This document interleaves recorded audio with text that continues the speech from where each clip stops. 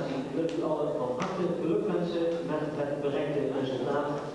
En ik wens u alle succes met uw vereniging in de toekomst. Dames en heren, graag bedankt en tot ziens.